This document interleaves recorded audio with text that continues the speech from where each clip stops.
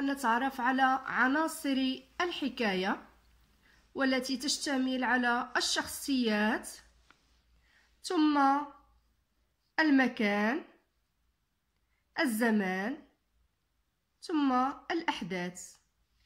نبدأ بالتمرين الأول. ألون خانة الشخصية التي لم تذكر في الحكاية. شخصية لم تذكر في الحكاية يعني غير موجودة في الحكاية. لدينا هنا الهواء الحمامة الطفلة الخروف النساج الناس الخياطة الحارس البلابل الحساسين. إذا الشخصية الغير مذكورة في النص هي الحارس. إذا نلون هذه الخانة فهي شخصية لم تذكر في الحكاية. التمرين الثاني أصل بين كل شخصية والعمل الذي قامت به. لدينا الشخصية أو الشخصية الأولى الهواء ثم الحمامة الخروف النساج والناس. إذا الأعمال هي أسسوا جمعية رعاية اليتيم أخبر الحمامة بخبر محزن. أشعلت النار في الموقد حاك ثوبا ناعما لسمر أعطى بعض الصوف للحمامة. إذا الشخصية الأولى هي الهواء. إذا ما هو العمل الذي قام به الهواء؟ إذا الجواب هو الهواء. أخبر الحمامة بخبر محزن.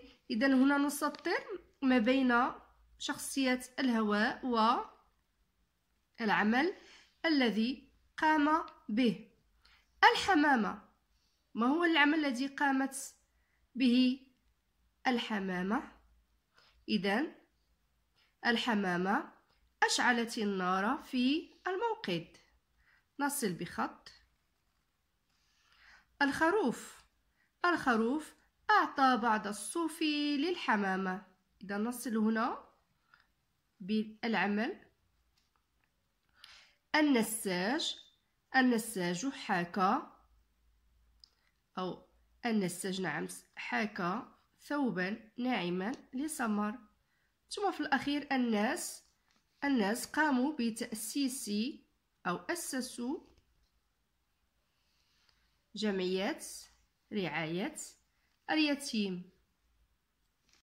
وهنا تلخيص شامل للحكاية. أخبر الهواء الحمامة بخبر محزن فانطلقت مع رفيقاتها إلى سمر. أشعلت الحمامة النار في الموقد فدب الدفء في جسم سمر. طلبت الحمامة الصوف من الخروف وحاك النساج ثوبا وخاطت الخياطة فستانا. أقامت الحمامة حفلا غردت فيه البلابل والحساسين وزقزقت العصافير وأسس الناس جمعية رعاية اليتيم. وفي نهاية الحفلة شكرتهم سمر. إذا هنا ملخص شامل بأحداث النص. الآن نتعرف إلى بعض الكلمات والشرح المناسب لها. مذعورة ما معناها؟ غاضبة خائفة أم مسرعة؟ مذعورة. إذا هنا خائفة. رأينا أن الحمامة هبت مذعورة يعني خائفة. عتيق هل هو قديم عامر أم ضيق؟ عتيق. رأينا أن سمر موجودة في بيت عتيق يعني بيت قديم. حاكى معناها خاط غزل أم سبح. رأينا بأن النساج حاك ثوبا حاك غزل. أما الخياطة فقد خاطت ثوبا إذا حاك غزل. هنا خريطة كلمة خير خريطة الكلمة نقصد بها الكلمة نوعها هل هي اسم فعل أم حرف؟ مرادفها يعني كلمة لها نفس معنى الأولى ثم ضدها ويتم تركيبها في جملة. الكلمة لدينا هنا خير. الخير نوعها الكلمة اسم. مرادف خير. يمن بركات بر إحسان. إذا نختار واحدة من هذه المرادفات فهي لها نفس معنى خير. ضد خير شر. خير نركبها داخل جملة. تساقطت الأمطار فعم الخير. أذكر هنا بأن خريطة الكلمة فهي تعطى دائما للمستوى الثاني والمستوى الثالث وحتى الرابع. إذا خريطة الكلمة يجب أن يتعرف عليها التلميذ ويعرف معناها أن الكلمة نضع لها نوع المرادف الضد ثم التركيب داخل جملة. الآن نتعرف على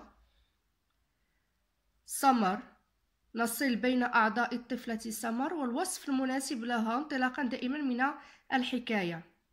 جسم وجه عينان شعر. إذا كل عضو والوصف المناسب له. انطلاقا دائما من الحكاية كما قلنا جسم نحيل. رأينا بأن السمر كان جسمها نحيل. وجه جميل. شعر مسترسل. وعينان سوداوان. ثم في الأخير لدينا هنا شبكة مفردات لكلمة طيور. شبكة مفردات.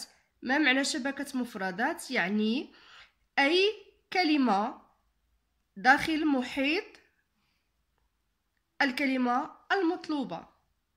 مثلا هنا لدينا طيور. شبكة كلمات هذه المفردة حمامة نتمم بلبل حسون نسر هدهد صقر. وهناك مجموعة كثيرة من من أسماء الطيور مثل آه، العصفور آه، النعامة الدجاجة أيضا فهي طائر إلى آخره.